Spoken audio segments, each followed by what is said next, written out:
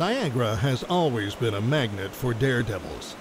Tightrope walkers, also known as funambulists, love to walk over the pulsing Niagara River near the falls. Others went over the falls in barrels, and dozens have challenged the lower Niagara Whirlpool Rapids by swimming or crashing through these treacherous waters in boats or barrels. Niagara's first tightrope walker, known professionally as Blondin, successfully carried his scared manager, Harry Colcord, on his back across the Niagara Rapids in August 1859. Crowd estimated at 50,000 watched with bated breath. Later, Blondin carried his assistant, Romain Mouton, successfully over the Niagara River. On September 5, 1860, Signor Guillermo and Antonio Farini near the site of the present day Rainbow Bridge, duplicated almost all of Blondin's tricks on the wire. This aerialist put a different twist to walking the tightrope. Professor J.F. Jenkins, billed as the Canadian Blondin, on August 25, 1869, rode a bicycle velocipede over the Niagara River. His eight foot balancing pole had iron balls on the ends that weighed 25 pounds each. A walker simply known as Signor Bellini on August 27, 1873, dazzled the audience by walking out onto the middle of his wire and dropping 170 feet to the Maid of the Mist boat waiting below. He lived. The only lady to walk a wire across Niagara, Maria Spelterini, crossed the raging Niagara River on July 8, 1876. She made the walk again on July 12th and 19th, this time with peach baskets on her feet. Captain Matthew Webb on July 2, 1883, lost his life in an attempt to swim the Whirlpool Rapids. Carlisle Graham made four trips through the Whirlpool Rapids in a large wooden barrel. He even successfully swam the lower Niagara River Rapids, and from 1886 to 1905, he was the dominant figure on the Niagara stunting scene.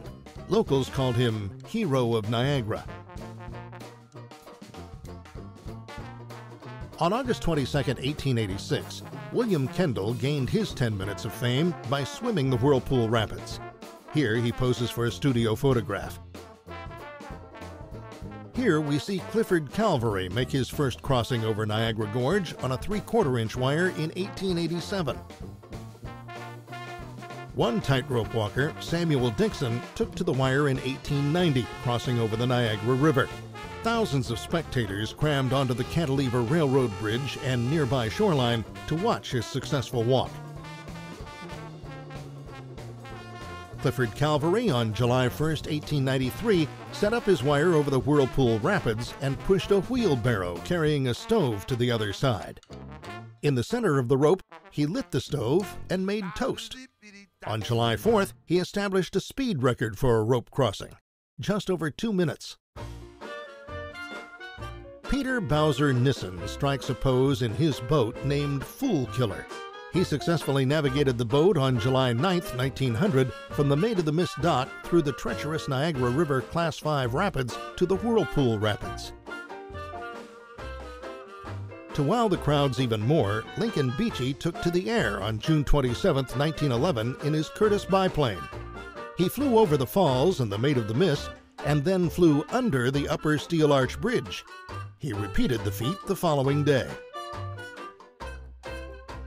On June 4, 1975, Henri Rechatin crossed illegally on the cables of the Niagara Spanish Aero car on a motorcycle, with his wife Janet hanging upside down by her foot from a frame below. The motorcycle was driven by Frank Lucas. In the summers of 2002 and 2005 in Niagara Falls, Canada, Canadian tightrope walker Jay Cochrane, billed Prince of the Air, walked an 1,800 foot wire strung between Skylon Tower and Niagara Falls Casino. He performed the feat successfully dozens of times to the applause of the crowds below. If today's urban world seems at times to stifle the human spirit, far removed from Niagara's daredevil days of old, know that there will always be those that yearn to defy danger daring men and women who risk their lives for glory. It's a part of the human spirit that refuses to die.